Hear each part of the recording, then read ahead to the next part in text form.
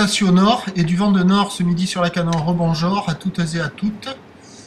Euh, on a ce midi un temps gris couvert et pluvieux avec une température extérieure à 10 degrés, une température de l'eau à 13 degrés. L'eau est devenue bien verte, elle est jolie l'eau. On est sur une marée qui est pleine haute à 11h, hein, des petits coefficients de 31. Sur ce plan au tout début du descendant, le vent est donc plein nord. Il est modérant dans les deux beaux forts. Le plan d'eau est clapotor, euh, ridator. Une euh, houle qui est euh, longue, de 12 secondes de période orientée ouest-nord-ouest à ouest. Vous voyez, elle n'est pas jolie, elle donne pas envie même de la regarder.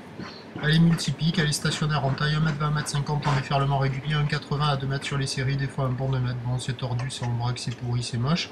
Même si ça s'est un peu amélioré avec le vent qui est passé nord, les phases de vagues sont un peu moins dégradées que ce matin. Mais bon, en termes de qualité, ça casse pas 12 pattes à un petit canard.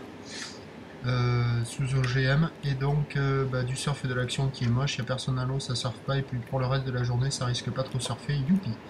La boire cachant est à la baisse, elle est passée de 3 mètres et 8 secondes ce matin à 2 mètres 40 et 7 secondes d'or ce midi, donc à 13h 2 mètres or, ou ouest-nord-ouest à ouest, 12 secondes de période vont de nord de 3 à Beaufort et à 17h 2 mètres or, ou ouest-nord-ouest à ouest, 12 secondes de période or vent nord-ouest or dans les deux Beaufort. Bon, pas gagné. Bon, si vous êtes très motivé, il y a des bouts. Mais si vous n'êtes pas motivé, il vaut mieux trouver une autre activité. C'est ce que je vais faire. Rendez-vous demain à 7h. Merci.